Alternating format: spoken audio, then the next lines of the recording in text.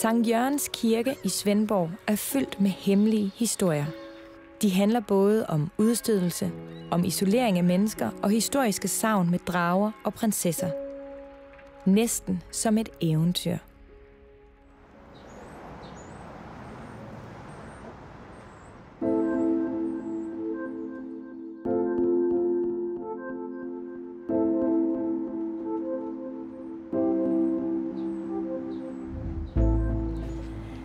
Taget til gudstjeneste her i Svendborg. Her valgfarter menigheden til, men sådan har det faktisk ikke altid været.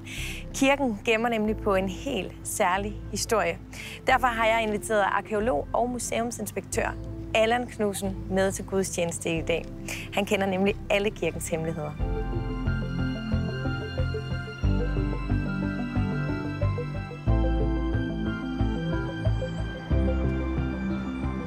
Goddag, Allan. Goddag. Hej, og velkommen til smuk Svendborg her. Tak skal du have. Ja. Der er virkelig øh, der er utrolig smukt her.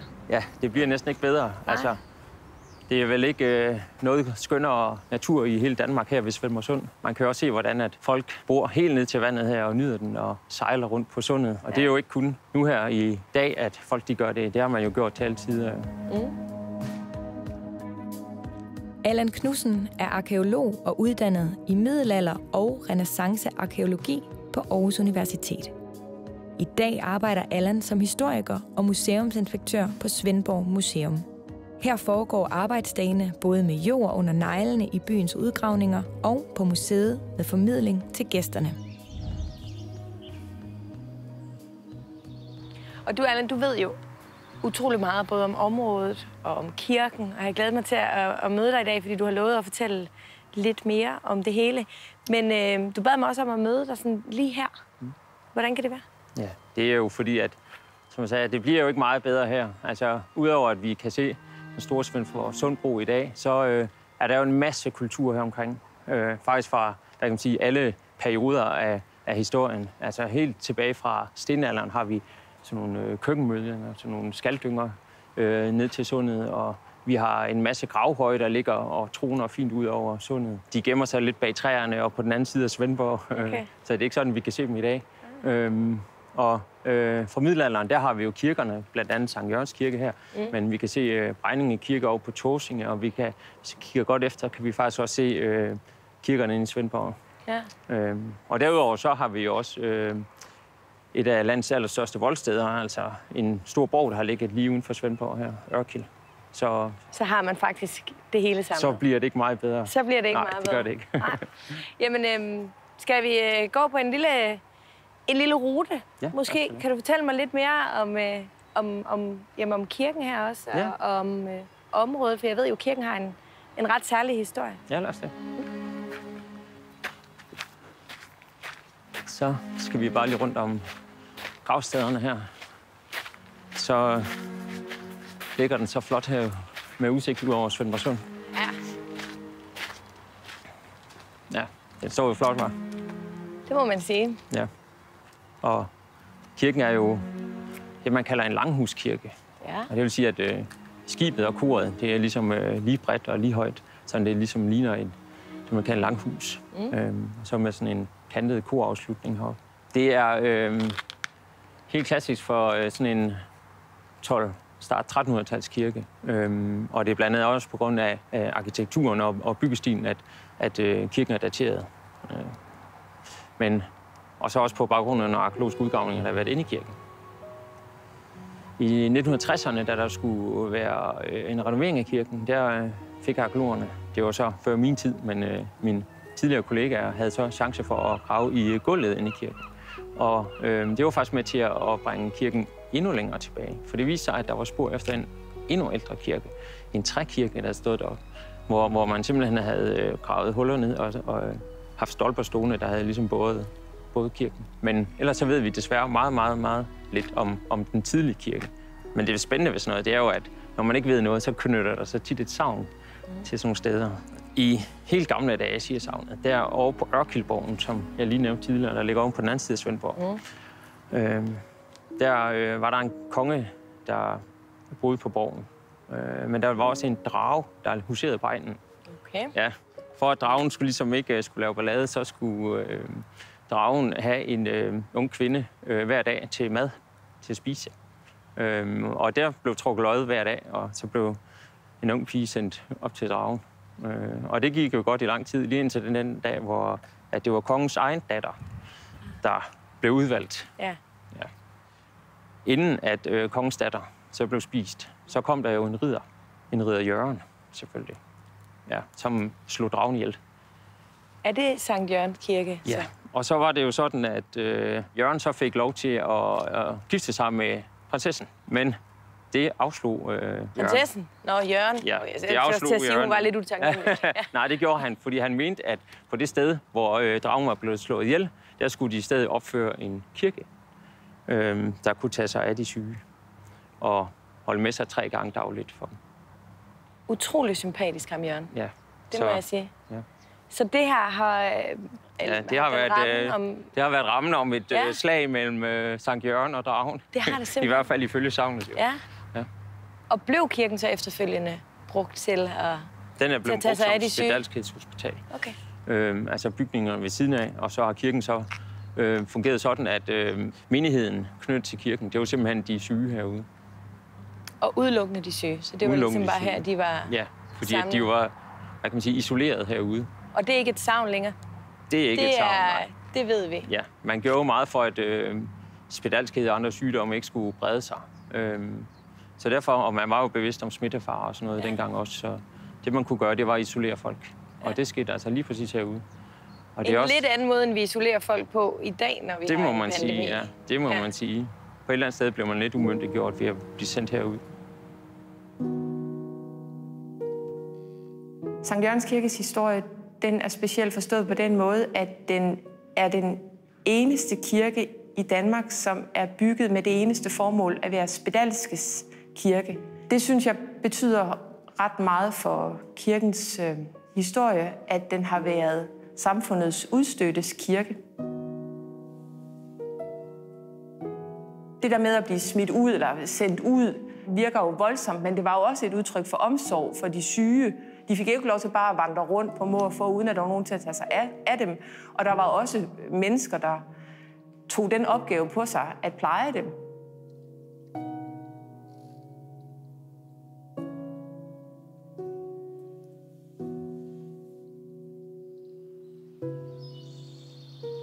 Nu sagde jeg godt nok, den var fra 1300, omkring 1300. Men det er jo sådan med kirken, og ikke kun den her kirke, men stort set alle kirker her i landet. Det er jo en ting, der er blevet brugt og tilpasset igennem alle århundrederne, så derfor så er der også bygget til og bygget om og revet ned. Øh, For eksempel det store tårn her, det bliver først øh, bygget til kirken om, i 1500-tallet. Og det er også derfor, så har det form af det, man vil kalde et langhus. Altså ja. en meget øh, lige stringent, ensartet kirke. Hvor ofte kommer du i kirken til gudstjeneste? Det er, varierer meget. Det varierer meget. Ja. Øh, for tiden har jeg jo masser af familie og børn, og, for der er både dåb og Ja, det er det. konfirmation og mm. bryllup og alt muligt, så det sker da. Kan du høre, at de er ved at starte derinde? De er i fuld sving, kan jeg høre. Skal vi ja, lad gå ind og slutte os til? Dig først.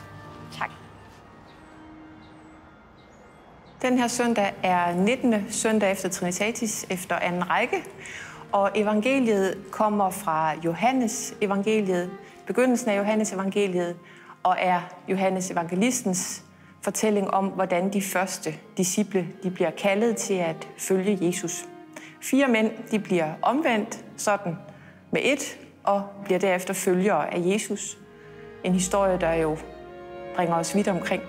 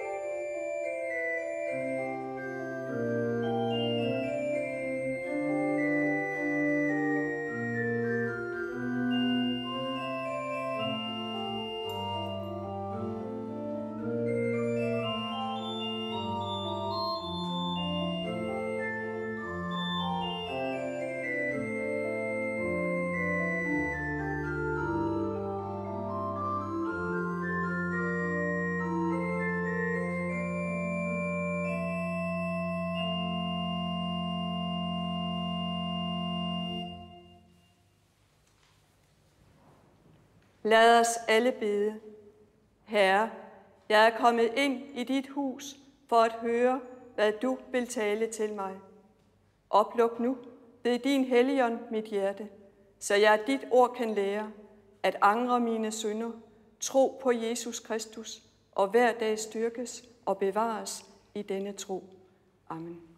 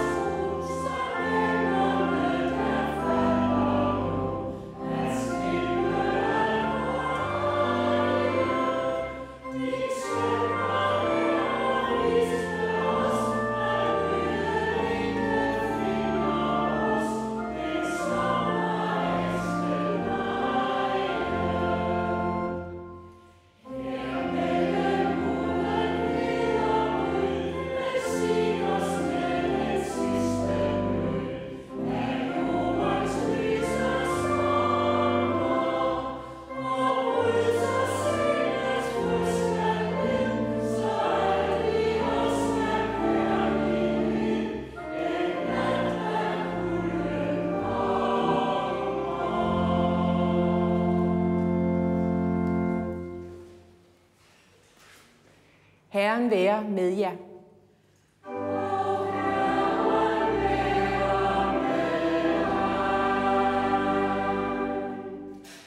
Og lad os alle bede. Gud, Fader, Søn og Helligånd, du som er i himlen og på jorden, hvad patriarken Jakob drømte om, en stige mellem himmel og jord, har du i dåben tegnet for vores bryst. Dine himmelsluser er åbnet, og din solenge lyser ned til jorden. Du har øje for den, der sidder i skyggen. Vi beder dig, kald os ved navn og kald os frem i lyset, hvor vi skal få større ting at se, du som er fra evighed og til evighed.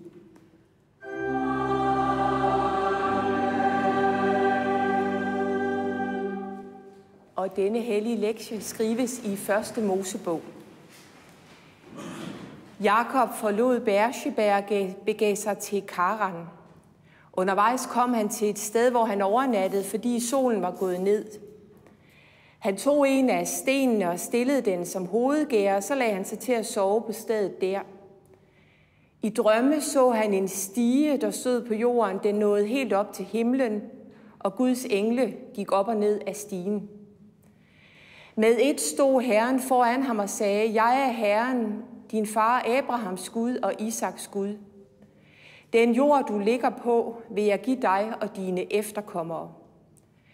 Dine efterkommere skal blive som jordens støv, og du skal brede dig mod vest og øst, mod nord og syd. I dig og i dit afkom skal alle jordens slægter velsignes.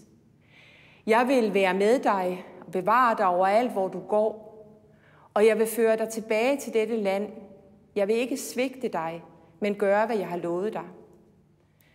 Da Jakob vågnede, sagde han, Herren er i sandhed på dette sted, og jeg vidste det ikke.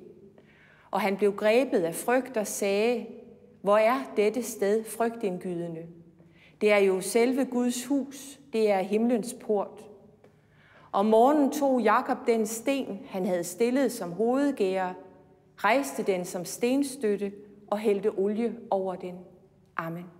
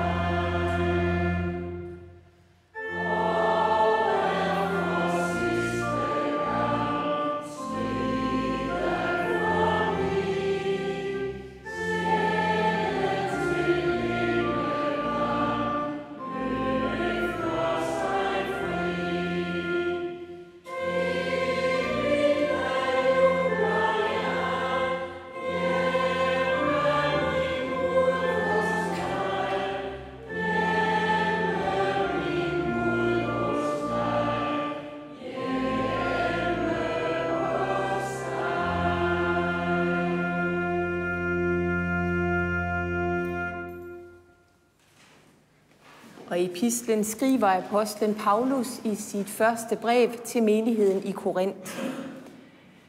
Kroppen er en helhed, der er sammensat af mange dele, og alle de mange dele udgør én krop.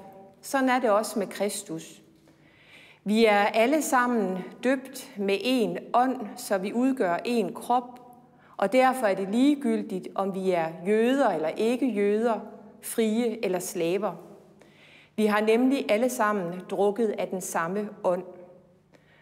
Og som I ved, består kroppen ikke kun af én del, men af mange. Selvom foden siger, jeg er ikke en hånd og hører ikke med til kroppen, så hører den med til kroppen alligevel. Og selvom øret siger, jeg er ikke et øje og hører ikke med til kroppen, så hører det med på kroppen alligevel. Hvis nu hele kroppen bestod af et øje, hvordan skulle man så kunne høre noget? Eller hvis kroppen var et stort øre, hvordan skulle man så kunne lugte noget? Gud har netop sammensat kroppen af de forskellige dele for, at det skulle blive præcis den krop, han havde tænkt sig. Hvad ville der blive af kroppen, hvis den kun bestod af én kropsdel? Men nu er det sådan, at der er mange kropsdele, og de udgør til sammen én krop. Amen. Og lad os bekende vores kristne tro.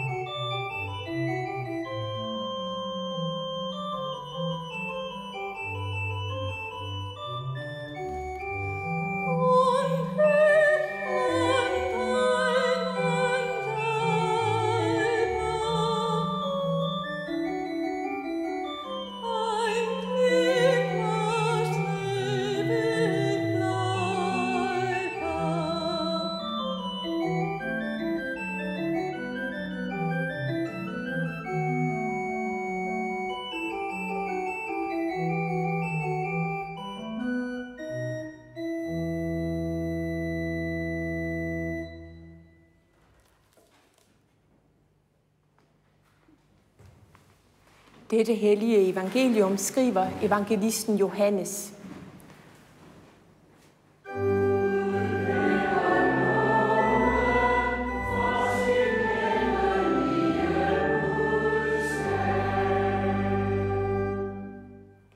Næste dag stod Johannes der igen med to af sine disciple. Han ser Jesus komme gående og siger, se, der er Guds lam. De to disciple hørte, hvad han sagde og fulgte efter Jesus. Da Jesus vendte sig om og så dem følge efter, sagde han, hvad vil I? De svarede, Rabbi, hvor bor du? Rabbi betyder mester. Han sagde til dem, kom og se. De gik med og så, hvor han boede og blev hos ham den dag. Det var ved den 9. time.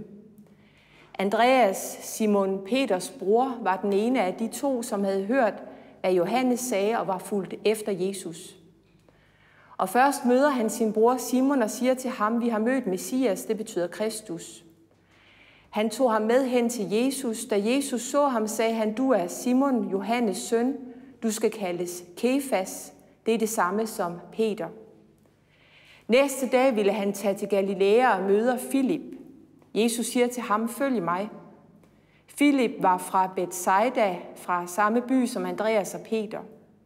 Filip møder Nathanael og siger til ham, ham som Moses har skrevet om i loven og lige så profeterne, ham har vi mødt, Jesus, Josefs søn fra Nazareth.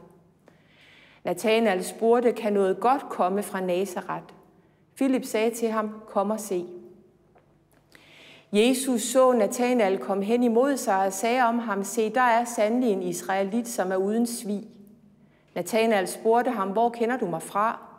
Jesus svarede ham, jeg så dig, før Filip kaldte på dig, mens du var under fintræet.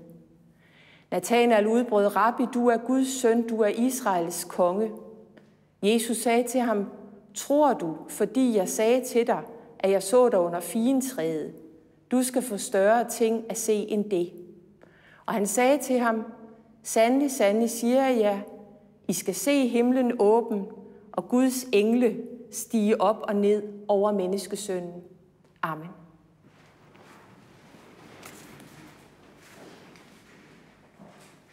Når jeg ligesom så mange andre benytter mig af et af de mange sociale medier, der efterhånden findes, så kan jeg med et enkelt tryk vælge at blive en følger af sådan cirka alt mellem himmel og jord. Jeg kan følge mennesker, der mener og kan en farlig masse, såvel som en sand perlerække af hunde og kaniner, katte og pingviner, der gør morsomme ting uden sammenligning med menneskene i øvrigt. Jeg kan udvide min horisont og følge spændende museer og kirker i hele verden. MoMA i New York, Svendborg Museum, Peterskirken i Rom og de lidt mere ydmyge kirker i provinsen, i Nazareth eller Svendborg, også uden sammenligning i øvrigt. For jeg kan nemlig følge lige præcis det, der interesserer mig, og hvis jeg ikke gider være med mere, så kan jeg så let som ingenting slå mit følgeskab fra. Og en bivirkning ved at være sådan en digital følger er, at jeg får større ting at se. For som om, at der er en, der ser lige ind i mig og ser, hvad jeg har brug for, er det sociale medie nemlig ofte så venlig at gøre mig opmærksom på, at der også findes hårfarvningsprodukter, rygøvelser og opstrammende cremer og endnu flere mennesker med meninger, sjove hunde, flere museer og kirke, som jeg måske kunne have glæde af at følge. Jeg skal bare trykke på knap. Og omtrent lige så let ser det ud til, at det er for Andreas, Simon, Philip og Nathanael. Der skal virkelig forbløffende lidt til, at de trykker på knappen og beslutter sig for at følge Jesus fra Nazareth. Der lyder nogle korte opfordringer. Se, der er Guds lam. Kom og se og følg mig. Mere skulle der ikke til, og de havde bestemt sig, og men Nathanaels skepsis over for det provincielle ved Jesus først lige skal overvindes. Og det er det, det bliver, da Jesus afslører, at han allerede har set ind i ham og set, at han er et menneske uden svig. Og hvem kan stå for at være set på en så anerkendende måde? Nathanael kan i hvert fald ikke, og kaldelsen af de første disciple munder ud i, at Nathanael bekender, at Jesus er Guds søn. Det er på alle måder en skældsættende begivenhed, vi hører om her. Men det er det jo nok altid, når troen begynder at røre på sig i et menneske og udvider horisonten, hvad enten troen følger med fra barns ben, om den vokser gradvist, eller kommer som en åbenbaring, som troen gør for de her fire disciple, der jo nærmest kan sætte klokkeslæt på, hvornår deres tro blev født, og Jesus bliver deres følgesvend. For Simon er det endda så skældsættende, at han finder sig i at blive dikteret, at han fremover skal kendes som Peter, Kefas, Klippen. Og det er jo et tilnavn, der også varsler, at første spadestik er taget til, at kirken træder ind på verdenshistoriens scene, hvor den vil modnes og voksne, fra blot at bestå af de fire mænd til i dag at tælle hen ved to milliarder mennesker, der er fælles om at sige som Nathanael, at Jesus er Guds søn.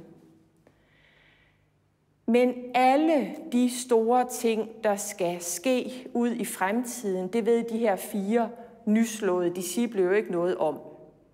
Historien den melder faktisk ingenting om, om de overhovedet har nogen som helst forventninger om, hvad der skal komme ud af at følge Jesus, og slet ikke, hvad de selv forventer at få ud af det. For det er bemærkelsesværdigt, at Jesus nærmest ingenting lover dem. Jo, jo, kan I selvfølgelig indvende. Han lover dem da, at de skal se noget vildt. De skal se en åben, åben himmel og engle, der stiger op over menneskesønnen. Og det er selvfølgelig en forestilling, det er værd at løse billet til. Men Jesus han giver dem altså ikke noget løfte om, at de her fire personligt skal forvente at få noget særligt ud af at følge ham.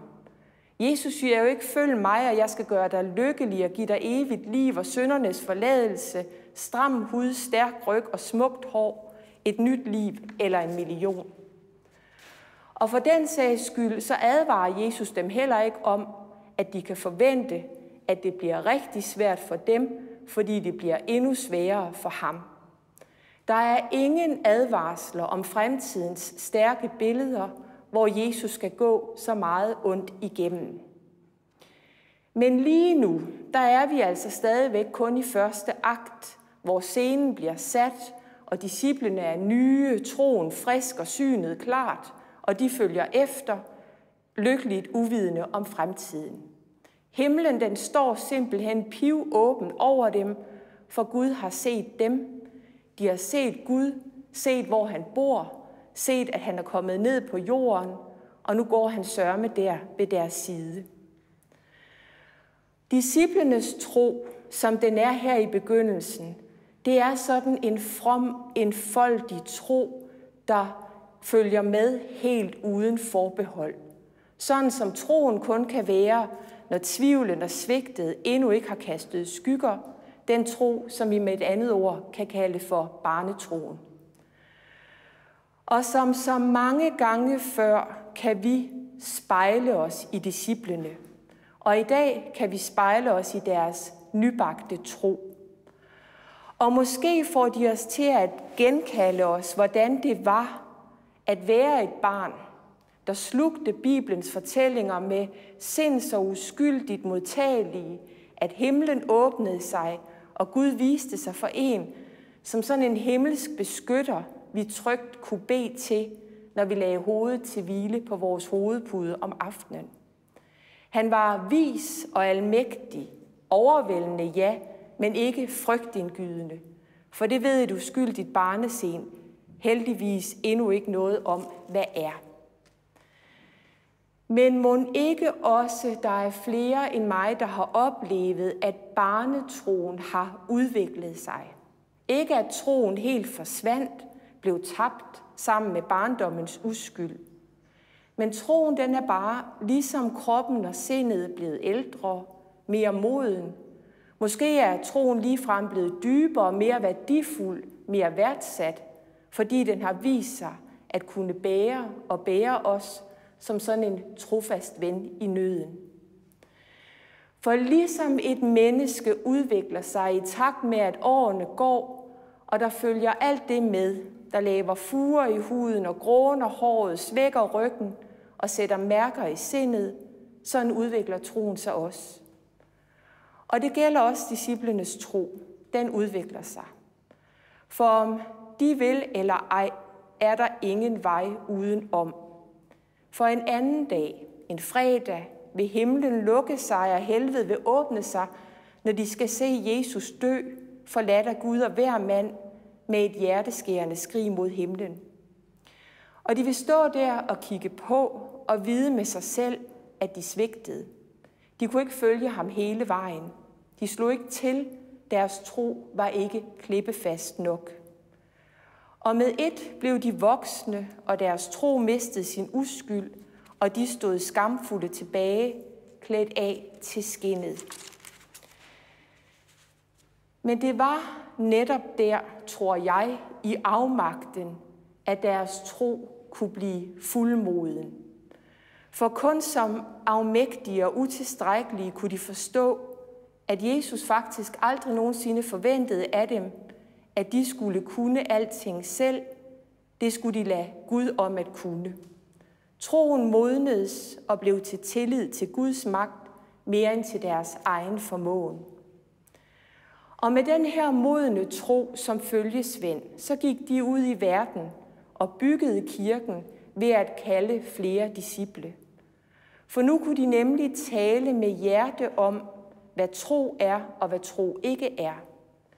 De kunne fortælle dem, der ville høre, at troen ikke er en evne, der kan gøre os stærke som klipper, fejlfrie og skaffe os, hvad vi ønsker os af Gud, men at troen er at have tillid til, at det er Gud, der er klippen, der ikke svigter, heller ikke dem, der vakler og svigter ham. For det er Gud, der følger os, det er ikke os, der følger ham. Han følger os, også når man dårligt selv kan holde ud at følge med. Og hvis vi på nogen måde kan spejle os i, at tiden, der går, gør forventningerne til min egen magt mindre, og tilliden til Guds magt tilsvarende større, så troen modnes og går hen og bliver sådan en trofast følgesvend, der bærer os, ja, så har vi allerede fået større ting at se. For så har vi set Gud, vi har set ham, der aldrig svigter, men gav sin søn til os, som rejste ham, som korset stige mellem himmel og jord, for at kunne følge os af alle veje, alle dage, helt til verdens ende. Amen. Lov og tak og evig ære være dig, hvor Gud, Fader, Søn og Helligånd, du som var, er og bliver en sand træen i Gud, højlået fra første begyndelse, nu og i al evighed. Amen. Og lad os med apostlen tilønske hinanden, hvor Herre Jesu Kristi nåde og Guds kærlighed og Helligåndens fællesskab være med os alle. Amen.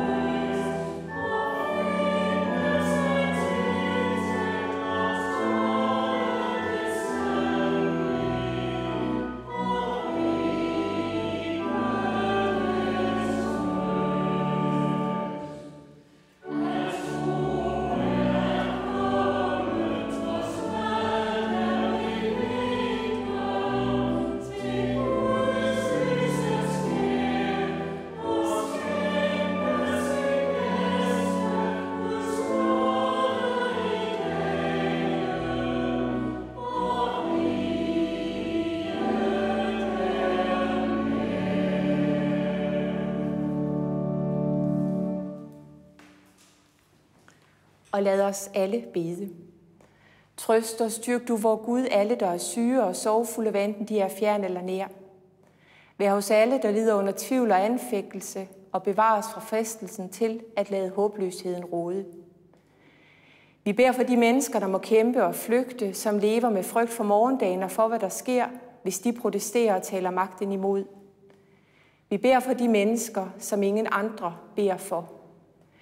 Velsign og bevar din kirke hos os og alle andre steder. Lad dit ord lyde højt og frit, så det når ind bag fjendtlighed og had og skaber medfølelse og fællesskab. Bevar dine hellige sakramenter, dåben og nadvånd, og lad os altid tro, at dit løfte om, at du vil være med os til verdens ende, står ved magt. Hold din hånd over vort folk og fædreland. Giv alle, der har magt, visdom og ydmyghed til at se ud over sig selv, så de handler med menneskers værd for øje. Velsign og bevare vores dronning Margrethe den anden og hele dronningens hus. Giv dem og os alle velsignelse, men frem for alt hjerte i livet, så vi kan se et andet menneske med storsindets blik og hjælpe med til at gøre verden et barmhjertigt sted, hvor menneskers værd agtes lige så højt, som din søn gjorde, da han gav sit liv for verden. Og hør os, når vi sammen beder Fader vor. Fader vor, du som er i himlene, helliget vorte dit navn, komme dit rige. Ske din vilje som i himlen, således også på jorden. Giv os i dag vores daglige brød, og forlad os vores skyld, som også vi forlader vores skyldnere. Led os ikke ind i fristelse, men fri os fra det onde. Til dit er riget og magten og æren i evighed. Amen.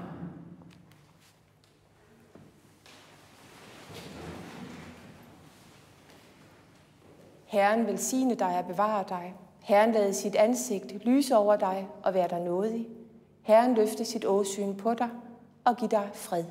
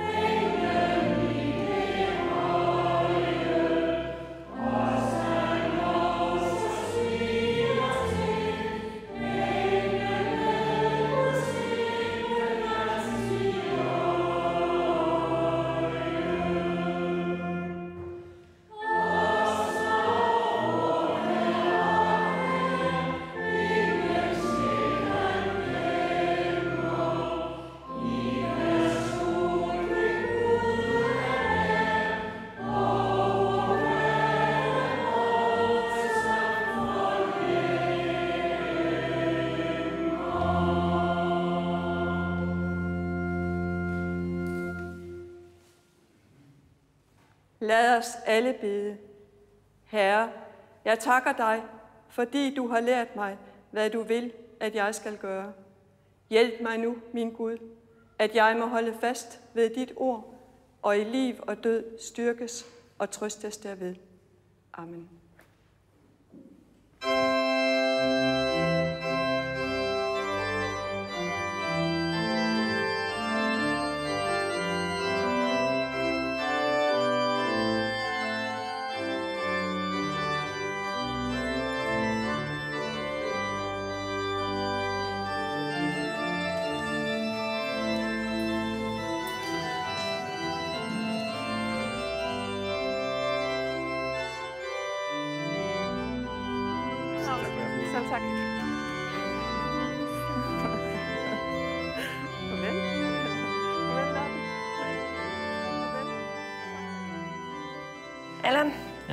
Synes du? Var det en god oplevelse? Det synes jeg.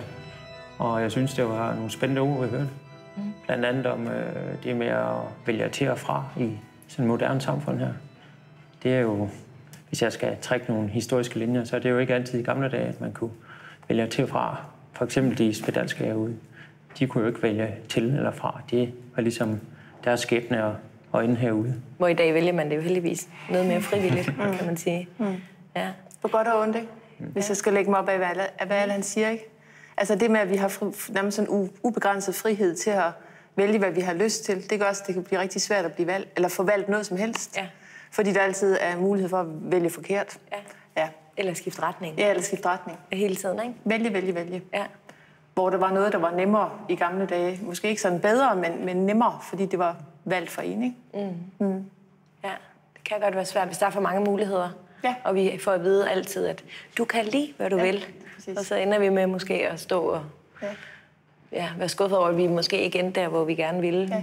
Fordi vi enten ikke havde evnerne, eller det alligevel ikke var muligt. Ikke? Præcis. Jeg tænkte lidt over din prædiken i dag, at du, øh, du får refereret til sociale medier. Mm.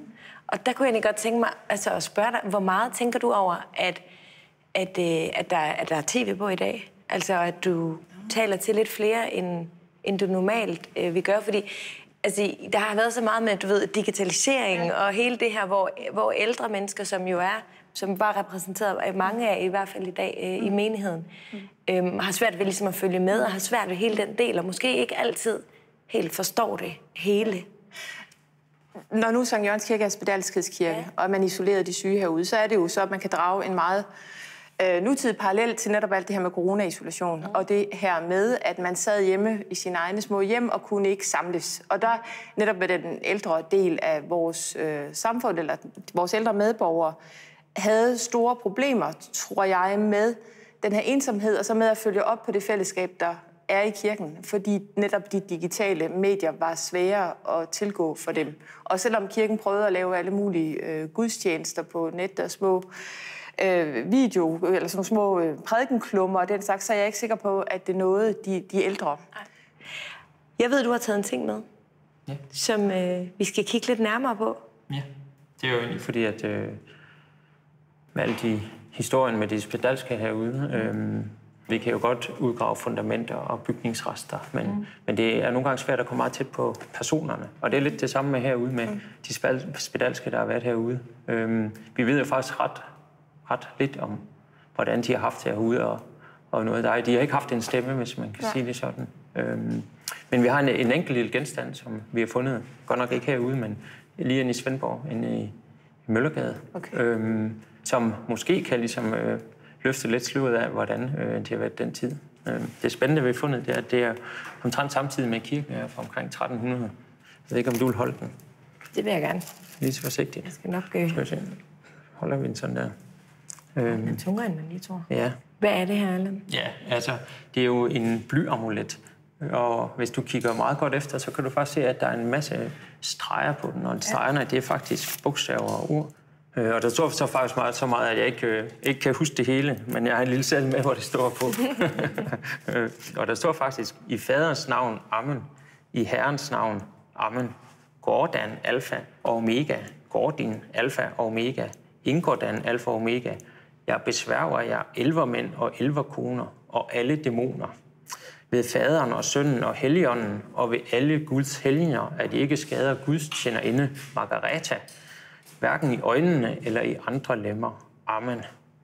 Du er stor i evighed, Herre. Så meget står der for sådan en lille amulet. Hold da op. Men, eller hvem gik med den? Ja, det gjorde Margareta så. Okay. Og den har hun jo købt og fået lavet og betalt. Formentlig fordi, at hun har været syg. Øhm, som en slags beskyttelsesamulet. De spedalske herude, der er ikke, det har været øh, dystre fremtidsudsigter. Mm. Mm. Øhm, så hvis de kunne have et, sådan en, en amulet, hvor troen på Gud kunne være med til at bringe dem til et bedre liv, eller i hvert fald øh, forhåbning om et bedre liv. Noget tryghed i hvert fald, Lige ikke? præcis. Ja. Okay. Nej, hvor interessant. Ja, det er meget spændende. Den er- Ja. Gået med den, foldet sammen i lommen måske. Ja, så og vi kender jo ikke hendes skæbne. Det gør vi ikke. Nej, Men det er jo ikke et godt tegn, at hun er tabt. den. nej, det må man sige. Det har hun nok været rigtig ked af. ja. Men øhm, du må hellere tage den igen, fordi ja. kender jeg mig selv ret. Så. altså, men jeg synes, det er ret fint at sidde her altså, så mange år efter altså, og mindes de spedalske, som var i, i kirken her. Er det noget, som I også sådan... Altså den der hi- historie, når man får lov at være præst i sådan en kirke som det her, den må følge med os. Altså. Det gør den også. Og i det hele taget vil jeg sige, at historien følger med, i hvert fald i min sind, ja. hver eneste gang, jeg træder ind i kirken. Altså, det, at vi står ikke på, på os selv. Altså, vi står på en historie langt tilbage. Altså, lidt ligesom i min prædiken, at vi står på, på et andet klippe end os selv. At vi er en del af et, en krop, brugt, brugte Paulus øh, billede af i dag i epistlen. Altså, vi er en del af en større krop end bare os her lige i menigheden i Sankt Jørgens Kirke i Svendborg. Vi er faktisk en del af, af et kæmpe kirke, en kæmpe kirkekrop, der rækker altså 2.000 år tilbage. Ikke? Så derfor så bliver man sådan en, en del af efterfølgelsen helt tilbage fra de her disciple, vi hørte om. Ja. Og, og der er jo mange menneskers liv, der sådan væves ind i ens eget liv, synes jeg, hver eneste gang, man træder ind i en kirke. Altså alle dem, der har fået deres barn døbt her, ikke? Alle dem, der har siddet her og blevet konfirmeret, alle de brudepar, der er gået ind, alle de døde, der er blevet båret den vej. Det, det tænker jeg meget over. Altså historiens vingesus og forbundetheden, det at det hele bare er større end mig. Og om 2.000 år, der har vi måske også skrevet historie mm-hmm. med noget, som... Ja. ja. Det er, det er ret fint. Ja, man er en del af noget større. Ja, det er mm. ja. mm. Allan, tak fordi du ville være med i dag, og tak for din øh, historie om Svendborg Velbekomme, det har været hyggeligt. kirken. Og dejligt at være med. Og Line, det her var sidste gudstjeneste mm. her fra Svendborg. Tak fordi jeg måtte komme på besøg. Selv tak. Se med igen næste søndag, hvor jeg igen er til gudstjeneste.